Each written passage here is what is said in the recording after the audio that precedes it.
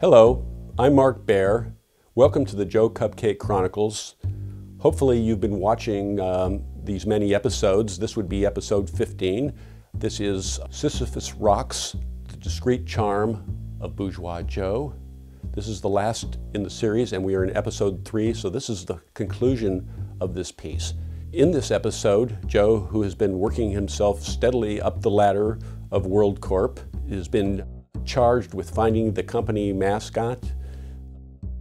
I, I won't give it away who he brings in, but a horse is a horse, of course, of course. Joe has his doubts about this because here's a company bent on testosterone and global domination, and he feels maybe a gelding isn't the most appropriate mascot. All this sounds a little uh, serendipitous, but in the end, Joe rises to the occasion. This would be a good time to talk about the crown of empowerment. And Joe wears the crown of empowerment.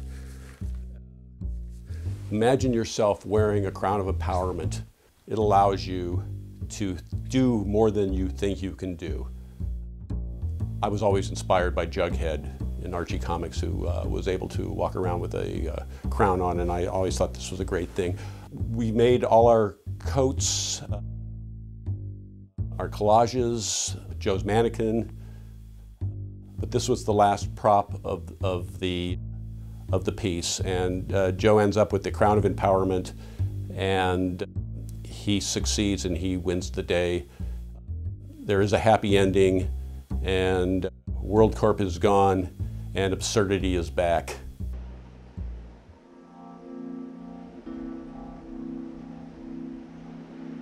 Later, over drinks, Matisse recounted his trip to Tahiti, how he could stare in the water at fish for hours, and Joe confessed that he dreamed of living in a Gauguin painting. He imagined the bluest of blues and the greenest of greens, mysterious dark gods and cocoa colored girls with extravagant flowers in their hair. Joe could see himself washed up in French Polynesia sandals, shorts, no shirt, stubble, brown as a berry, a potbelly. He'd know flamboyant characters, vagabonds, roustabouts, freebooters. He'd sip cafe au lait at the portside bar where men swallowed beer at 8 a.m. and puffed chatons. But what would Joe do for money? Even for Gauguin, the artist's life in French Polynesia was challenging. Mm, Joe could photograph fruit like he did at home, and maybe print them on newfangled material, brushed metal or glass, have a gallery at the Hilton. And he would eat his fruit, not like Matisse. But with tourists who wouldn't buy Gauguin's, where do we come from? What are we? Where are we? Fork out for Joe's pineapples. That squashed that thought to pulp. Then lightning hit. A juice manufacturing plant. His face on the can. Juice de Joe. Joe Mango, Joe Guava, Joe Banana. He'd run the tasting room, rum smoothies, and the luscious pink Lydia would oversee the factory. Thump, thump, thump. Not the beat, beat, beat of the tom toms. Not Cole Porter. Joe knew that thump. Mrs. Cupcake. We come like Adam and Eve with curiosity gladness of heart and joy. And if we get booted from this paradise, there is always another paradise down the road. Joe, discussing Buñuel, was explaining to his friend Eddie the word dysphemistic. That if someone at a formal dinner party were to publicly announce, I'm off for a piss, the effect would be dysphemistic. Eddie replied, I met Buñuel when I was a kid in France. He had a crush on my mom. Horny old goat offered me a cigarette. I was all 12. Joe asked Eddie about his dozen cats and many dogs and what the good news is. He says, There is no good news. Only that he played golf that afternoon, shot a 78, and it was a beautiful evening in the desert, and he was out by the pool and about to sit in the hot tub. Joe said, That sounded pretty good. God damn it, Eddie replied, not cheering up. I come home this afternoon and see helicopters overhead, and I turn on the TV to see what is happening, and there's my pot dealer holding a gun to his wife's head. So now I've got to find a new supplier. I'm telling you, man, it never ends.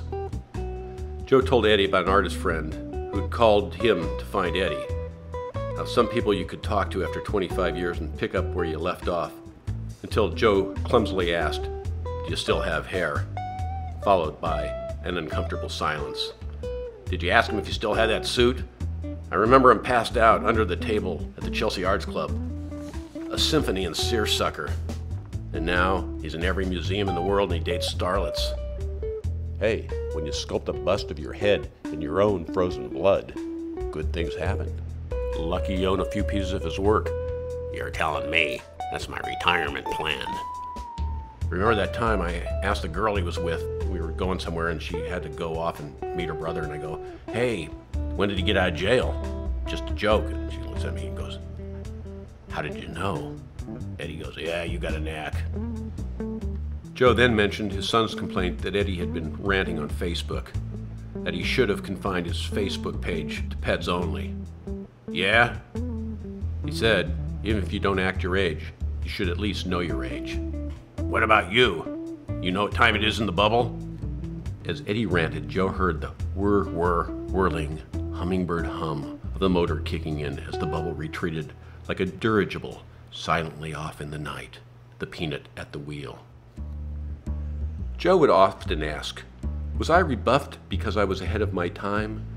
Or was mine an idea remotely conceivable, but not easily realized because it couldn't be recognized? Author, inventor, and futurist Ray Kurzweil hopes to live forever.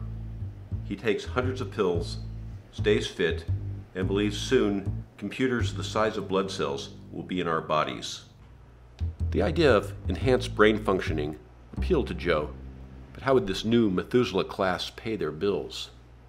Joe saw himself at 127, competing with 90 year olds for a job at the takeout counter at McDonald's, or cleaning rooms at La Quinta Inn, part time only, no medical, or he'd be warehoused on Mars by then. Could he still party down? Those damn kids, a couple of 60 year olds going at it in the bathroom snorting Lipitor. Maybe he'd be lucky enough to work at a Red Lobster or Applebee's, some southern town where it was warm, having been taxed out of California years ago. Sunday morning, baseball playoffs on TV, Cubs winning but no sound, and Joe can't watch. He's being run ragged. I'm Joe. I'm your waiter. If I don't croak, he'd throw in some geriatric shtick, adjust his back brace, six adults and two kids, church group, four split checks, Shirley Temple, sweet tea, water with lemon, change that sweet tea to Sprite. Bread and more bread, another Shirley Temple, refills are free. Joe gets the drink but forgets the cherry. He returns with it, holding it by the stem, and they order. Everyone needs something special. No onions, no tomatoes, no olives, dressing on the side. Later, a confrontation with his boss, who is in his 20s. Didn't Joe get the memo about smiling? This is a happy place. He was expected to smile and to wear a fun tie, maybe a Hawaiian pattern. Joe, touching silk, a vestige of flesher times, wants to say, Hermes doesn't make funny ties, but doesn't push it. That morning, he'd scan the help wanted ads, each job sounding worse than castration. And who would hire him? What could he do? Tell jokes outside the car wash? Worst of all, he was too old to write pop songs. No more, oh baby, baby. He'd be about dwindling 401k plans and estate insurance, and damn if he knew what rhymed with hip replacement or colonoscopy.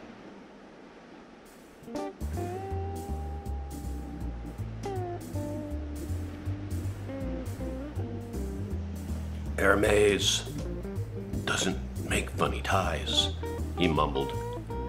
Marshmallow, his assistant, did not respond. He knew Joe would soon return from wherever he went, blink, and check his email. The last few days had been tense. Still, all in all, life on floor 99 for Joe Cupcake was mostly aces, aces, aces. A social media Instagram strategy had resuscitated Happy Card in Japan, and cube rooms were viable again, despite the devastating initial launch when people mistook them as urinals. Joe extolled efficiency. What do I need to know? When do I need to know? Who do I need to know? Why do I need to know? Do I need to know? He got in by 9:45 and he was usually out no later than 1:15. Plenty. He held 4 or 5 meetings at once, praising what he called the pinball effect clusters of three or four milled about his conference room, and he'd buzz from group to group, a bee spreading pollen. He'd turn up the heat, get deals simmering, fire up enthusiasm, and let others work out the details. They were all smarter than him anyway. Observers privy to this frantic whirlwind of wizardry, this explosive powwow dance, this colossal superconductor collision of creativity were mightily impressed. Joe, engine of dynamism, got the popcorn popping, kept the plates spinning, lit the gas on all burners, and before the roof blew off, he would pogo out. His afternoons were reserved for what Joe called deep submersion. He was scheduled to be at a conference, but he sent Marshmallow. Let him earn his keep. It was a fine spring afternoon. He just blasted out of a deep bunker. His ball scampered, scooted, and died on the lip of the cup. On the next hole, 177 yards steep uphill par 3, the threesome on the green waved him to hit and play through. Joe's five wood poke didn't have much loft, but his ball shot straight as an arrow, cleared the ridge, and he heard a tink sound. When he reached the top of the hill, there was no sign of his ball on the green. It must have hit the flagstick and bounced. Then one of the threesome said to look in the cup. Damn, an ace. With a witness. Oh my God, not just a witness. It was God. Goldenrod. Normally, when you make a hole in one, said the big boss. You'd have to buy everyone in the clubhouse a drink. But considering it is 147 on a work day, perhaps another time. Goldenrod looked into his eyes like he could read Joe's mind. Jesus, did he know Joe imagined him with his dong painted gold? Was he going to fire Joe on the spot? At WOCO, one worked 70 hours a week, tweeted in the can, texted in the shower. Joe mumbled something about not playing hooky. He was working, meditating, cogitating. Stop talking, stop talking. But Joe was spilling his guts like Raskolnikov in Crime and Punishment. Why didn't the peanut reel him in? The two subordinates with Goldenrod, Johnny in the Spot, Charlie at the Rat Hole, loyal Dobermans, were ready to rip Joe to shreds, but stood down when Goldenrod asked Joe if he wanted to join them as a fourth. Joe declined he knew his real game would all too quickly rear its ugly head, and stressed he was on deadline, had deliverables pending. Did he really say that? Why not toss in Cheetah? Tell how the price was right, but that he got wind of temper tantrums and feces being hurled. All cattle, no hat. All kraut, no wiener. How obvious the flaws of others were to him, and conversely, how obvious Joe must be to others. Just because you think you're invisible doesn't mean you are. He thought he dodged a bullet until he attended a company mixer for high up mucky mucks. He had standard riffs he deployed at the push of a button, like a jukebox. Hit B1, and Joe railed against groupthink, dominant logics, shoehorn solutions, said constant deprogramming was needed, and liked to say evolution is smarter than we are, blah, blah, blah, blah hit C5, he'd go into brand values, company values, all crap. What we're looking for are stories that communicate the spirit, not the values of a brand. Then someone pressed F11, or it could have been 4A, and he sputtered about how the unplugged, the switched off, the ones able to put down their devices would be the new Mandarin class. Drinking messed with the jukebox intermingling his real thoughts and his canned thoughts. And he tried to remain sober in public, but apparently Joe was hammered. And when someone pressed D13, which should have elicited build something great, build community around it, organize and promote, instead, Joe hushed the room with D14 about a twisted pervert friend who liked a particular style of fetish boots so much that when the company went bust, he bought it. Then, as he piled on the sashimi, Trying not to spill his soy and ginger while balancing his wine glass, he needed more arms, he was spilling, and telling someone about his friend's baby, how he wished he could wear a pajama suit with a back flap and padded feet, but not candy canes or balloons, picturing pinstripes, as the other person scurried off, and Joe found himself facing Goldenrod. Your razor broken, Cupcake? Sir? Ace, as a rule of thumb, before I'm ready to go out and clip the planet clean, I make sure I clip my upper lip. Joe felt his upper lip, touched a thin line of bristly mist, glanced in a mirror, saw he had a skinny red wine mustache, was mortified, and now other executives were staring at him. Someone asked, Ace Hole, do we have a new spokesperson yet? Ace Hole. That stung especially in tandem with his pussy mustache. Joe quipped meekly, Everyone loves a movie star. There was speculation. Even Goldenrod joined in Clooney, Hanks, Streisand. Joe didn't say their star would have four legs, not two, if he could close the deal. Marshmallow had just texted, Lassie's people say no. Rin Tin Tin, same. And being the unveiling was a week away, if his last hope didn't pan out, he'd be appearing as Shari Lewis with lamb chop on his hand. Then his cell vibrated. Marshmallow. Mr. Harvester's agent signed. Joe gave a fist pump, sloshing wine on Mr. Evil Eye's blazer, Miss Haughty Baring's breasts, and on Goldenrod's loafers. Word of the mysterious Mr. Harvester leaked, and rumors were rife but Google as they may, Joe was fairly certain his secret was safe. Indeed, it was. And what a happy surprise when the big day came and after the drum roll, out trotted the Palomino Gelding bamboo harvester direct from the glue factory in the sky, now in 3D hologram format, known to the world as Mr. Ed. It was quite a hoedown at headquarters and offices worldwide. Ed was beamed in on big screens sporting a straw boater and sunglasses. Joe played Wilbur. Hey, Ed, where'd you get that snazzy hat? Oh, I found it. I'll wear it till it goes out of style, then I'll eat it. Laughs aplenty, and Joe inquired about the shades. Ed whinnied that his eye doctor made him wear them.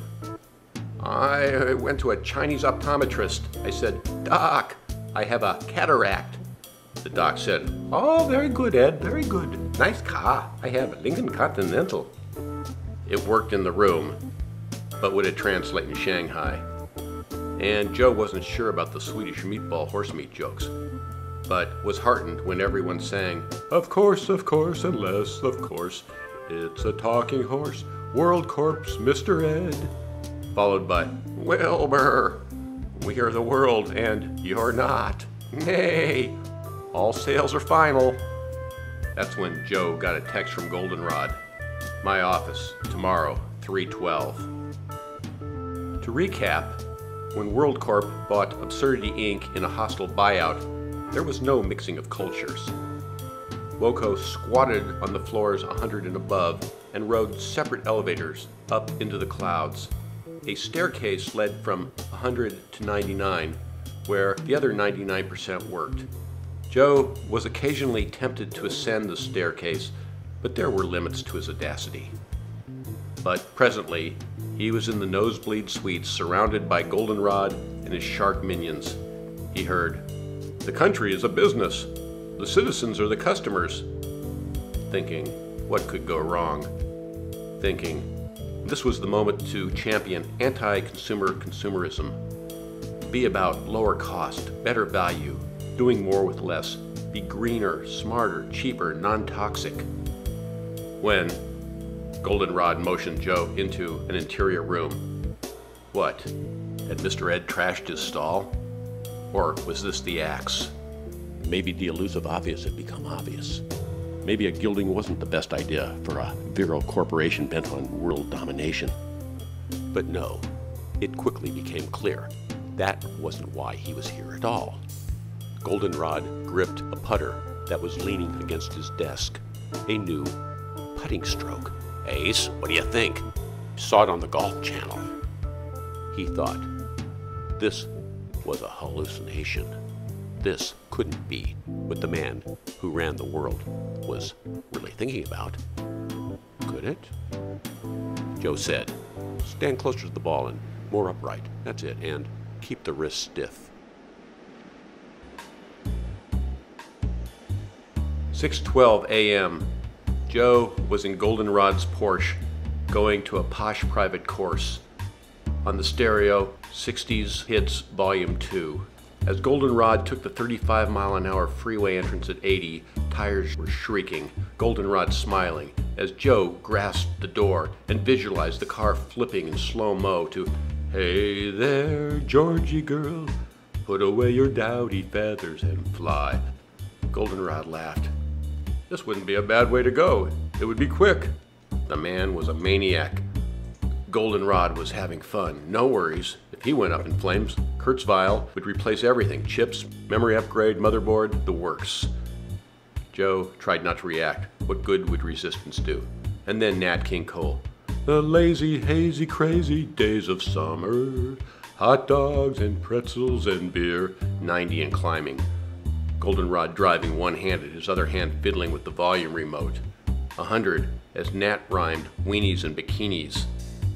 Joe fancied himself a word guy, but he would never top Nat. That's why Nat was king. And after the disaster, the jaws of life cutting him out of mangled metal, Nat would still be rhyming and the chatter would be about Goldenrod's incredible escape. Joe mentioned only as the unfortunate passenger. And when Goldenrod passed a Prius, as a horn blaring Sparklets truck sped towards them, Joe closed his eyes. Save me, Nat! I want to do right. I want to do good. Give me a chance, Nat. I could be a contender. He heard, Joe, Joe, Joe. The voices got louder. He opened his eyes. He was on a podium, alive, he assumed. A crowd calling his name. Thank you, Nat. He sang, Solid potato salad. That's solid salad, Jack. Someone in the audience shouted, Absurdity is back! And there was a cheer. It all returned to him in a rush. Goldenrod didn't wreck. And wasn't even totally insane by golf standards. They got to his club at 622, and Goldenrod dashed to mark the first tee with his clubs, just ahead of a foursome and a threesome of Japanese women, all vying for the 630 slot when the first group was allowed off. Five seconds later, they would have been out of luck. Beautiful day, birds singing, no one in front of them. Goldenrod was the man, singing putts, and Joe shot an 84, the best he'd posted in ages. Joe swiveled at the podium. Behind him on the screen, the stairway to the 100th floor, now a rooftop landmark, lit at night, a beacon of hope. In bold letters over picture, the 99% for 100%. Joe recalled the bright meteoric streak crossing the sky and the headline, Up, Up, and Away, WorldCorp had rocketed off to a tax haven in the Cayman Islands. Everything above the 99th floor was empty air. Even Mr. Ed was gone.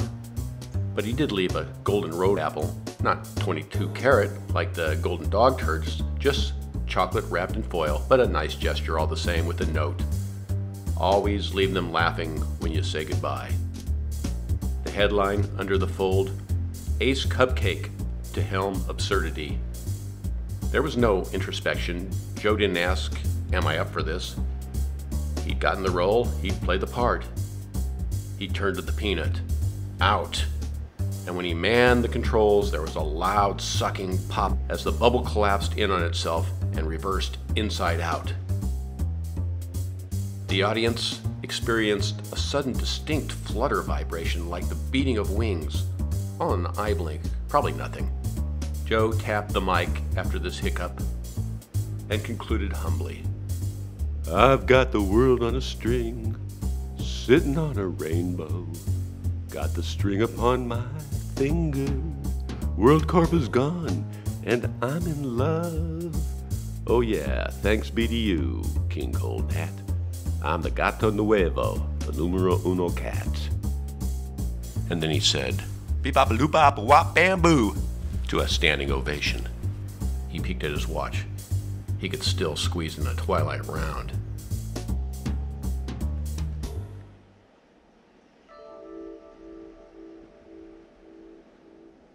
Sit, be still, and listen. Because you're drunk, baby cakes, and we're at the edge of the roof. Join us, Rumi. Imagine moonlight in a minor key. Our prayers writ large, silver on black.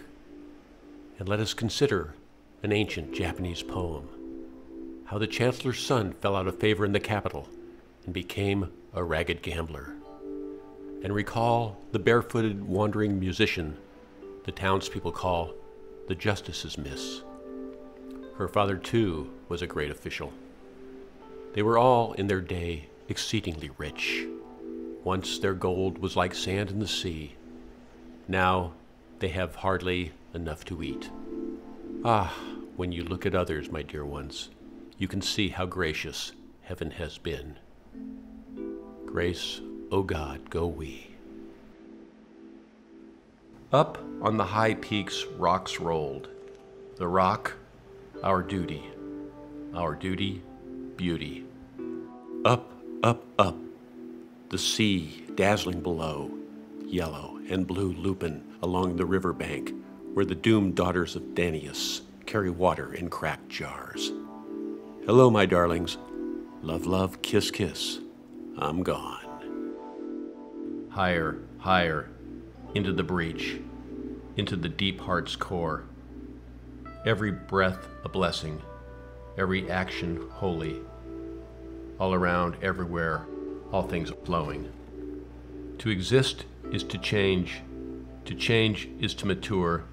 To mature is to go on creating oneself endlessly.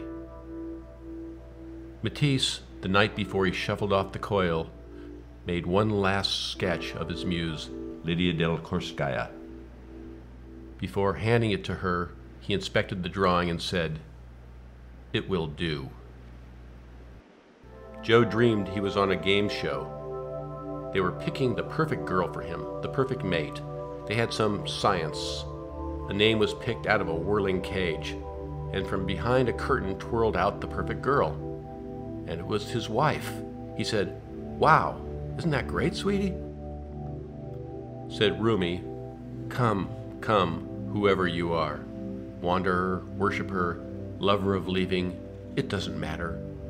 Ours is not a caravan of despair. Come, even if you have broken your vows a thousand times, come yet again. Come, come. What you seek is seeking you. Thank you, beloved, a noble spirit, so beautiful, so deep, so mad. Whatever you are, if you are, if you are not, thank you for everything. I have no complaints whatsoever. Shanti, Shanti, Shanti.